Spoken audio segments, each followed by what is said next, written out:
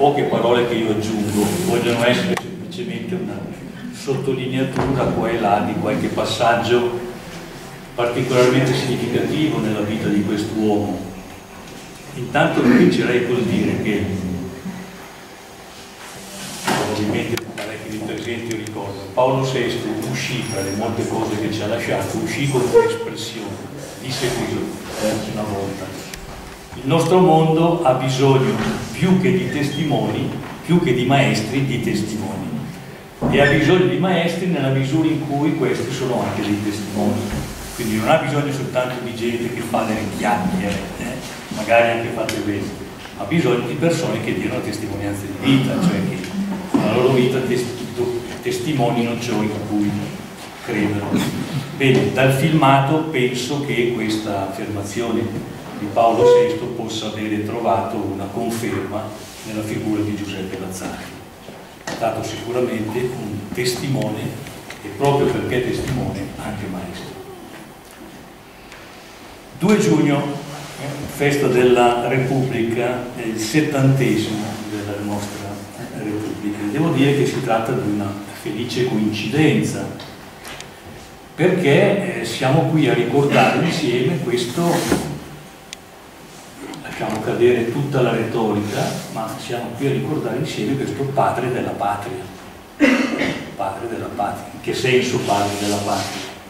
Nel senso che ha partecipato, come si è visto, a quel momento eh, fondamentale di costituzione della nuova, della nuova Italia dopo il fascismo, della nuova Italia repubblicana e democratica, attraverso appunto i lavori della Costituente, cioè di quella grande assemblea non di nominati, come si dice oggi, ma di eletti dal popolo, una grande assemblea di eletti che eh, ebbe un compito fondamentale, quello di scrivere la Carta Costituzionale. La Carta Costituzionale. Carta Costituzionale che è entrata in vigore, come sappiamo, il primo gennaio del 1948 e che è tuttora in vita, anche se saremo chiamati tra qualche mese a dire la nostra, sì o no, sui cambiamenti che hanno introdotto. Non è questo il motivo, l'argomento della nostra incontro. Bene, Lazzati, eh, come capita qualche volta nella vita di figure importanti, eh, si ha l'impressione che lo scorrere dell'esistenza di queste persone sia tutto lineare, tranquillo. Poi a un certo momento c'è l'incidente, capita quel che si dice con una parola un po', un, un po raffinata, una cesura, cioè uno stacco netto. E lui era figlio di...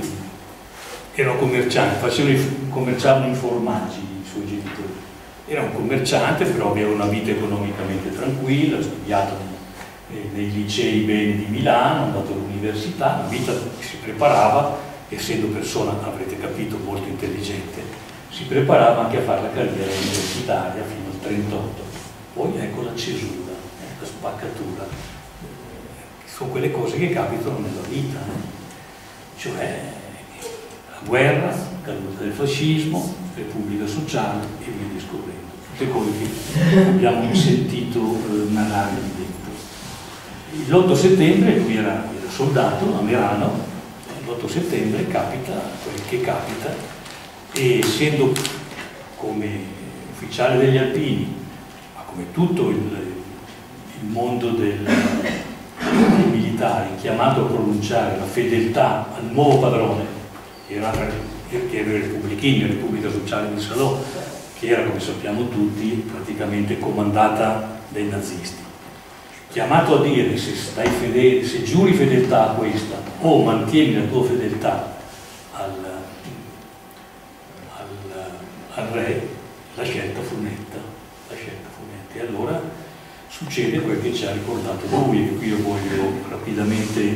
risottolineare il mattino del 9 settembre, l'8 settembre l'armistizio, eh, ad Oglio, 9 settembre del 43, agli ufficiali radunati in Merano, nella caserma del quinto Alpini, un ufficiale chiedeva ad uno ad uno se sceglievano di essere fedeli al giuramento di fedeltà fatto nel momento in cui erano entrati a far parte dell'esercito o di aderire alle formazioni fasciste.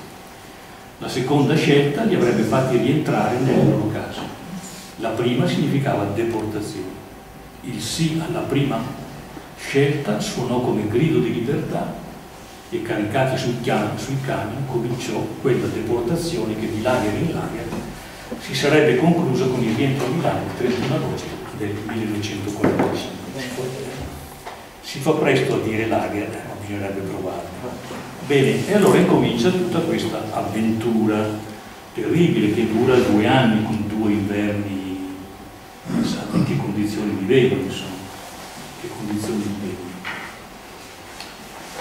L'esperienza nei lager da Azzati, come da tanti altri per la verità, è sempre stata, è sempre stata vissuta come un tempo di grande prova, di grande desolazione, di grande sofferenza, ma al tempo stesso un tempo, qui ci vogliono degli spiriti elevati per dire questa cosa, un tempo di grazia, cioè un tempo di messa alla prova, come si usa dire oggi, no? messa alla prova di quel che si è come uomini e, come nel caso suo di uomini credenti, tempo in cui si è messi alla prova. E quindi da questo punto di vista anche un tempo particolarmente, particolarmente significativo. Potremmo stare qui una serata intera per raccontarci quello che Lazzati, insieme con altri, ma lui fu certamente uno dei, dei capifila, combinò nei lager. Ci vorrebbe davvero una serata, ma non è il caso. Nel senso che tutto il suo impegno, tenete presente che doveva intanto cominciare lui a resistere, a resistere, io l'ho sentito più di una volta dire, voi non vi immaginate, quando guardiamo i nostri, i nostri figli, i nostri ragazzi, eh, che lì a scegliere tra tre tipi di carne, la bistecchina, quella, eh, la fesa. Eh. Voi non vi immaginate cosa sono i morsi della fame. Oltretutto aggravati dal freddo nelle baracche e dalle botte magari dei caponi, dei nazisti. Allora, quello che lui fece per resistere, ma per aiutare gli altri a resistere, fu straordinario. Fu veramente straordinario andavano da lui i giovani dell'azione cattolica, lui, lui, era del 9, quindi nel 43, quanti anni aveva? 34.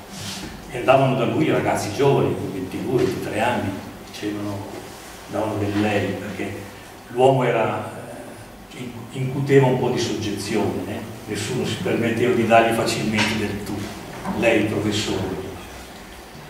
E lui diceva, tu sei dell'azione cattolica, quindi tu hai capito certe cose, vabbè, tu devi resistere, ma non ce la faccio più, tu devi resistere. E dunque tutta un'attività fatta di incontri, approfondimenti, incontri politici, incontri culturali. Avete sentito Alessandro Natta? Alessandro Natta è stato segretario del Partito Comunista Italiano, quindi in quegli anni in cui i rapporti tra le ideologie erano molto tesi e la situazione è anche complicata, eh? il dialogo tra questi esponenti di ideologie diverse. E, in alcuni campi eh, Natta eh, visse insieme, insieme con Lazzati e ebbe una stima grandissima. Io ho conosciuto Alessandro Nato, scambiare qualche parola, aveva una stima grandissima, eh, tant'è che fu lui eh, quando l'elezione del Presidente della Repubblica poi venne fuori per Tini, fu lui a proporre anche il nome di Lazzati. Questo allora, un'attività di animazione culturale, di educazione, di dibattito, perché in loro c'era la speranza di ritornare in Italia. Non erano mica sicuri di tornare, ma la speranza era quella lì. E allora tutto il dibattito su come dobbiamo costruire nuovo, la nuova Italia, il nuovo paese. E quindi davvero momenti di grande, di grande intensità. E il fatto è che Lazzati avete sentito, io cosa facevo nei campi? Io parlavo e in questo senso era considerato un sovillatore, per cui lui ha girato 5, 6, 6 o 7 campi, perché è accusato di sobillare dei tedeschi, quindi lo, lo facevano girare altri. I campi non è come dire, vabbè siamo lì, giochiamo al calcetto a, qui al, al campo dell'oratorio, andiamo all'oratorio di Dumiano, eh? c'è cambio devo dire 300-400 km in giro per, per la Germania. E Il rientro a casa, dicevo bene, dopo due, due lunghi anni, eh? due lunghi anni, due inverni durissimi, terribili. C'è un particolare che fa capire la statura dell'uomo. A un certo momento padre Gemelli, padre Gemelli era il fondatore dell'Università Cattolica nella quale Lazzati dal 1938 aveva cominciato a insegnare, quindi era un giovane, un giovane professore. E Gemelli per tutta una serie di ragioni sulle quali adesso non è il caso di soffermarsi, eh, si convinse a scrivere a chi di competenza una lettera per eh, chiedere di rilasciare, di far tornare Lazzati in Italia in quanto l'Università Cattolica aveva bisogno di professori. professori. E questa lettera arrivò a Lazzati, quindi dipendeva da lui, eh? dipendeva da lui se, se dire sì, quindi tornare in Italia oppure no. E sono famose per le sue parole secche che, che sono leggibili nelle lettere che lui scriveva ai familiari. E le parole secche sono per me resto, cioè di fronte alla possibilità di tornare in Italia dall'inferno, perché i lager erano sostanzialmente un inferno, eh, e dici per me resto perché il venire a casa voleva dire fare la figura del traditore, di colui che abbandonava gli amici. Tutte le cose che vi ho detto, adesso io vi lascio solo, per me io resto. E questi sono uomini, eh? non sono qua qua qua, come dicevo per nella civetta, eh? non sono qua qua qua. Questi sono uomini. Il rientro in Italia, vi avete sentito, il rientro in Italia e Lazzati pensa di riprendere i suoi studi, di andare avanti a fare le sue cose lo trascinano, hanno usato questa parola mi pare, venni trascinato in politica. E lì ci fu lo zampino di Tossetti, quel monaco che avete visto, sempre una grande figura, erano amici fraterni anche se poi molto spesso non si intendevano del tutto. Eh, viene trascinato in politica e dice ma no, ma guarda tu c'è bisogno, bisogno, di impegnarsi qui, dobbiamo rifare il paese, il paese è un disastro, siamo usciti dalla guerra e allora lui si, si lascia convincere. Disse quando gli diedero una laurea honoris causa all'Università di Rovagno in Belgio, disse io fui politico mio malgrado, non a mia insaputa, eh, che c'è quello là che aveva, riceveva le case a sua insaputa, non c'entra niente. Fui fui politico mio malgrado, cioè non era il mio mestiere, non era la mia vocazione, però fui trascinato dentro e capii che dovevo fare quella cosa lì. Dunque è stato la Costituente e poi ha fatto dal 48 al 53 la prima legislatura. Poi al 53 disse basta, vado a fare le cose che devo fare. Quindi è tornato ai suoi studi, è tornato all'università. Si potrebbe naturalmente anche qui fare un'altra serata sull'Azzati in quegli anni della politica, ma non possiamo fare. Dico solo due cose. La, la prima è questa. Eh, in, in, la democrazia cristiana, perché il partito di riferimento era la democrazia cristiana ed era la sinistra della democrazia cristiana, cioè il gruppo di Dossetti, che erano anche molto critici verso De Gasperi. De Gasperi, sapete, è stata la grande figura che ha dominato la scena politica italiana, insieme ad altri, ma è stato il capo del governo per tante volte, fino a metà anni 50. E eh, la prima cosa è questo, che questo gruppo, i dossettiani, che era un gruppo di intellettuali, i professorini li chiamavano, i professorini, c'era dentro Rossetti, c'era dentro la Pira e, e tanti altri. E lì Lazzati contribuì ad una definizione fondamentale, fondamentale che per molti anni il mondo cattolico non capì, forse non ha capito del tutto neanche adesso, cioè la distinzione tra l'azione, lui la, la chiamava così, azione cattolica e azione politica, cioè l'azione cattolica è tutta l'attività che la Chiesa fa, il pastorale, eccetera, e l'azione politica. In che senso la distinzione? Sono due ambiti diversi, distinti, da tenere separati, distinti sono vuol dire che la politica ha una sua logica, ha i suoi obiettivi, e l'obiettivo lo vedremo, eh, qual è l'obiettivo della politica? È questo servizio per costruire la città dell'uomo, eh, per il bene comune, per costruire... Allora, queste cose vanno distinte, la politica ha i suoi obiettivi, ha i suoi metodi, ha una sua laicità, eh? l'ha detto anche padre Sorgi, no? La politica è fondamentalmente una vita laica. Che dire questa roba qui in quegli anni fu una cosa clamorosa, eh? perché nella mentalità di molti cattolici c'era un'idea confusa, in fondo non si riusciva a distinguere i piani, era tutto insieme. Se dovevi fare le liste dei, dei, dei, dei candidati al comune, dov'è che li facevi? Nella casa del parroco. Quindi questo pastrocchio inenarrabile si è andati avanti per e lui ebbe tutta una serie di grani, dei vertici della gerarchia ecclesiastica proprio per l'introdurre di queste cose. Un'elaborazione sull'idea di politica e la sua distinzione rispetto a tutto il resto dell'attività ecclesiale. Secondo elemento fondamentale, che era la sua vera vocazione, l'impegno per la formazione dei giovani.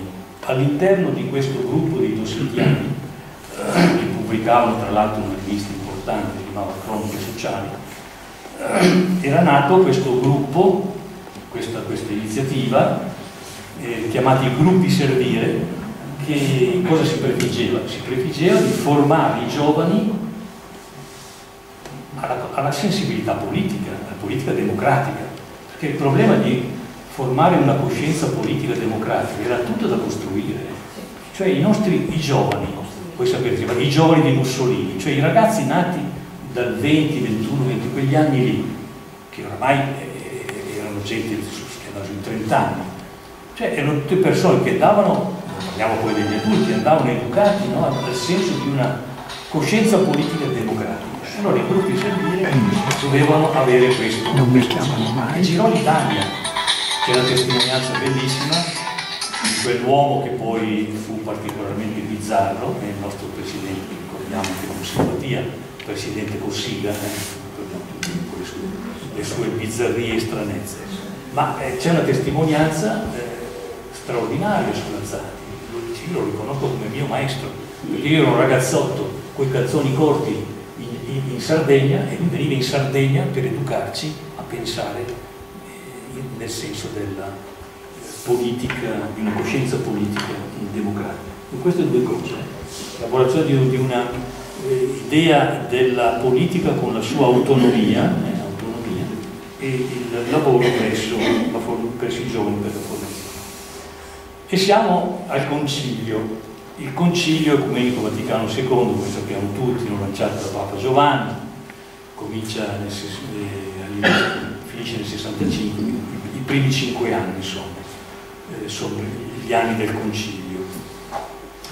E eh, terminato questo, questo, questo, grande evento ecclesiale, ma che fu anche un evento di carattere, carattere mondiale, non riguardava soltanto il mondo, il mondo dei cattolici, eh, Lazzati si impegnò, direi in maniera indefessa, girava parrocchie, diocesi, oratori, gruppi culturali, pur essendo rettore, nel 68 diventa rettore, eh, girava dove lo chiamavano evidentemente, non doveva mica fare propaganda, dove lo chiamavano, per presentare il concilio e soprattutto per insistere su quell'idea che era un po' il cuore della sua, della sua visione, cioè l'idea della Lumen Gentium, Lumen Gentium è uno dei più importanti documenti del Concilio, al numero 31, dove parla dei, dei cristiani normali, cristiani comuni, che siamo tutti noi, dice per la verità sempre Donzi, no, un cristiano comune con un, con il pezzettino compito, prete. Con un compito. Poi c'era anche il giovane prete e te l'aveva finito. È andato. Eh, Però è arrivato Don Agostino che ha qualche anno in più però è qui.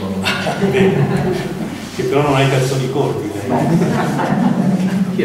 Va bene, va bene. Allora, dicevo, per aiutare a capire quel, quel famoso passaggio lì che, avete sentito citare per loro vocazione, cioè qual è la vocazione del, del, del laico, del, del, cristiano semplice, comune come diciamo è quella di cercare il regno di Dio trattando le cose temporali ordinando il secondo Dio. Questo qui è un po' un gergo teologico che va, va, va capito cosa vuol dire. Vuol dire sostanzialmente una cosa molto semplice, che, che la vita cristiana, il cammino del fedele cristiano, eh, passa attraverso una fedeltà alla terra. Cioè non si è cristiani perché faccio le novene al Padre Pio, questo, Tizio, Caio, la Madonna, Meggiugo. Cioè, tutte cose rispettabilissime per l'amore di cielo, non, non intendetevi male, anche se vi lascio andare qualche volta qualche volta. Non intendete tutto, va benissimo, santa vita. Cioè, la vocazione fondamentale cristiana è quella di prendere sul serio la sua vita, che la sua vita che è fatta di che cosa? Della famiglia, del lavoro, degli impegni fuori lavoro, del volontariato, del tempo libero, della... questa roba qui, prendere sul serio questa cosa qui e fare in modo che tutta questa attività, la politica in famiglia, il papà, mamma di figli, eccetera, sia ordinata, sia orientata, cioè sia sostenuta, eh? sostenuta dal modo con cui, eh, puoi dire tante altre cose, il modo con cui Dio pensa il modo con cui Dio pensa la famiglia, il modo con cui pensa, pensa, pensa, pensa vita sociale. Ecco, eh, ha girato per spiegare questa roba qui. Il tuo cammino di vocazione cristiana è legato alla fedeltà ai tuoi impegni normali, della vita normale. Certo che non vanno svolti co così comunque, vanno alimentati di un modo di intendere, di, di, di valori, sostanziati di valori che sono quelli, quelli propri di come Dio pensa a queste realtà, come si fa a capire che cosa Dio pensa, come Dio pensa a queste realtà. E il Dio evidentemente è innanzitutto alla Sacra Scrittura, è la parola di Dio, al Vangelo, eccetera. La Sati diceva sempre, due stelle polari aveva, la Costituzione, la Costituzione e il Concilio. Ma io dico, ma prima di queste due pur importanti stelle polari ce n'era una previa, che era il Vangelo, eh. prima c'era quella lì e poi anche questa. La Costituzione, avete sentito, lui era duro, dice, eh, se fosse stato qui non, sap non, saprei dirgli cosa avrebbe votato, se sì o no al referendum, ma, ma non eh, il rammarico qual era? Il rammarico era quello di vedere una Costituzione come un documento straordinariamente bello, ricco di valori, ma non adeguatamente attuato. La democrazia è una cosa straordinaria, dice, ma non riusciamo eh, ad attuarla come si converrebbe. Quindi il passaggio da una eh, Costituzione formalmente definita ad una Costituzione veramente attuata. Vi faccio un esempio. Pensate al problema della scuola. Nella Carta Costituzionale sta scritto che l'obbligo scolastico, eh, cioè l'istruzione per tutti i nostri ragazzi, doveva essere di 8 anni, fino al 14 anno.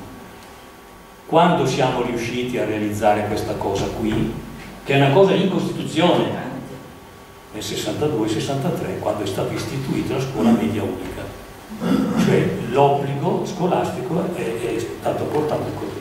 È soltanto un esempio, potremmo fare tanti esempi sul piano altri versanti giuridici, altri versanti dell'economia, eccetera, per dire come la Costituzione nel suo cruccio faceva fatica ad essere attuata nei fatti, soprattutto con attenzione ai problemi, diciamo, ai problemi della democrazia sociale, ai problemi dell'equità sociale, cioè un paese che ancora troppo registrava al suo interno degli squilibri dal punto di vista sociale e della distribuzione dei beni e delle ricchezze. Questo era, era il, il, suo, il, suo, grande, eh, grande cruccio. Eh, la politica, certamente Lazzati anche nel periodo del rettorato è stato continuamente attento e sensibile ai problemi della, della vita politica, ma, ma, ma, non perché lui fosse un politico, come, come dicevo, di professione, no? ma perché si rendeva conto che l'esperienza della vita umana, innanzitutto, della vita di un semplice uomo, di una semplice donna, evidentemente, e a maggior ragione, vuole dire, la vita cristiana non può non avere dentro, attenzione così, questa dimensione strutturale della politicità. Diciamo, a me non interessa niente la politica, queste robe qui non mi interessano. No, cioè la nostra vita è, anche se uno non si interessa, è strutturalmente politica, in che senso? Che ha a che fare con la polis, questa parola greca, vuol dire la città. Lazzati quando parlava di politica usava questa espressione un po' lunga, eh? La città dell'uomo a misura dell'uomo. La politica è questo servizio in favore della costruzione di una città dell'uomo a misura dell'uomo. Allora, dicevo, la sua sensibilità era legata a questo fatto che la vita nostra, anche se uno dice ma io non mi interessa, ha una sua politicità. Una sua... E tutti i nostri gesti, in fondo, hanno una ricaduta politica. Se io faccio il commerciante e per principio non do le ricevute o le fatture ai miei clienti, quello è un atto politico. In che senso? Nel senso che ha una ripercussione sul modo di intendere e quindi sul, sul, sul modo di costruire o non costruire questa, questa, questa società. Ci siamo, a buon intenditore, poche parole. Cioè tutti i gesti che noi facciamo hanno riferimento alla vita della città, cioè alla vita della polis, alla vita della polis. Se io sono un, un disgraziato incosciente che, che, che, non tiene, eh, che, non, che, non, tiene, rispetto per il codice della strada e poi combina i disastri che combino, quella roba lì certo, ammazzano, ah, capite che ha a che fare con la vita della città, nel caso più grave ammazzano persone, se magari sono ubriaco, impasticato. Cioè tutto quello che... E quindi il senso della politica, non è che lui vuole fare il politicante, ma... E questo era il messaggio che cercava di far passare far passare, di far passare nel, nei contatti che aveva, soprattutto in mezzo ai giovani, e vengo a concludere. Ma qual era la convinzione forte in Lazzati? Che non basta dire politica, servizio per la costruzione della città dell'uomo, misura dell'uomo, non basta dire questa cosa qui. Bisogna, per riuscire a realizzare questo obiettivo, formare degli uomini all'altezza del compito, cioè bisogna formare le coscienze, diceva Padre Sorgio, eh? bisogna formare la consapevolezza di questa cosa. Ecco allora che non si potrà mai costruire una città a misura d'uomo se i cittadini, cioè noi, cioè noi, non siamo adeguatamente formati per questo compito, cioè non abbiamo consapevolezza di questo e qui scatta tutto appunto il problema della formazione. Oggi abbiamo fatto dei passi in avanti anche nel campo della scuola, sapete si parla di educazione alla cittadinanza, eh? cittadinanza attiva, cittadinanza responsabile, sono cose belle, importanti. Eh? In Lazzati questa idea era molto chiara, no? No, non si costruirà nulla di positivo se non ci sono uomini e donne formati. E eh, devo dire, tutto il suo lavoro fatto in mezzo ai giovani aveva come, come elemento costantemente presente questo, questo, aspetto, questo, aspetto, Del resto, e chiudo, del resto eh, eh, chi era presente agli ultimi istanti della sua vita sembra che le parole ultime che, che ha detto, che ha pronunciato sul letto di morte furono coltivate l'uomo non, non, coltivate il prezzemolo, che pure è importante, no? il gladio, eccetera. Coltivate l'uomo, cioè impegnatevi, diceva quelle 3-4 persone presenti al capezzale, impegnati per far crescere l'uomo e anche la donna evidentemente, eh? signora Carini, lei mi ha detto che si chiama Carini, no? Il mio omonimo, e, e anche la donna, fateli crescere nella pienezza della loro umanità perché non si va da nessuna parte, qui possiamo fare piacere ci sono gli amici dell'Ampi, questo nostro paese non va da nessuna parte se non, se se non cresciamo in umanità. In umanità. Ecco. E questo fu il suo ultimo messaggio per dire come questa tensione alla componente formativa fosse in lui tanto forte e radicata. Vorrei chiudere con, con una riferimento ad una parola del Cardinal Martini, del Cardinal Martini che ebbe una grande stima professor Lazzati, eh? fu molto vicino, fu davvero un uomo molto vicino a lui. e ebbe più occasioni per intervenire. È un libretto che raccoglie tutti gli scritti di Martini sull'Azzaro. Eh? Tutti gli scritti di Martini sull'Azzaro. Vediamo se trovo, se trovo quello che ha detto o considerava alla omelia dei funerali nell'86 limpido testimone impareggiabile maestro, lo definì. E in un'altra occasione, eccolo qui, disse, il senso della ricca esistenza, non ho qui occhiali, ormai qui da leggere, il senso, de, non sono quello, il senso della ricca esistenza, questo grande laico cristiano del nostro tempo, è tutto racchiuso nella doppia polarità della paradossale cittadinanza. Perché il cristiano, il cristiano è, è tutto di questo mondo e al tempo stesso è di un altro mondo.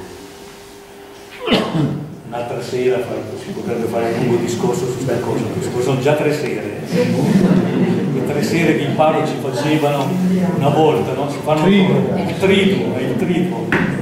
Dunque, eh, è tutto racchiuso nella doppia polarità della paradossale cittadinanza, cui facendo l'ignoto autore della lettera di Onieto, un testo dei primissimi secoli cristiani, per tratteggiare la condizione dei primi cristiani nel mondo classico pagano. Quello che è l'anima nel corpo, questo sono i cristiani nel mondo. Così si esprime l'autore antico e così il Vaticano II raffigura il compito del laico, mostrando l'urgenza di un suo responsabile protagonismo che confidi nella potenza dello Spirito più che nelle precarie garanzie istituzionali. E l'ultimo passaggio, sempre del Cardinale Martini in un'altra circostanza, dice così, e con questo chiudiamo, ecco, Lazzati ci appare in modo vero un uomo. Cioè io quando giro a parlare di queste robe qui, e giro a parlare anche di altre cose, intendiamoci, dico sempre, guardate, queste grandi figure in fondo di uomini, per un po' eccezionali, sono mica dei santini da mettere lì, eh, nel, sono uomini, uomini che vivono per tutte le fatiche del, del, del, dell'essere uomo. Lazzati ci appare in modo vero un uomo che, che, che era bruciato interiormente dal desiderio di corrispondere alla chiamata di Dio, di attuare in sé nel mondo la verità del Vangelo, un uomo che aveva dentro questa carica evangelica. E poi questa chiusura che è molto bella in lui il Vangelo di Gesù ha assunto il volto dell'uomo contemporaneo. Questo è Maria Martini, un altro personaggio sul quale si potrebbe fare una serata e siamo alla quarta. Una vita, una vita.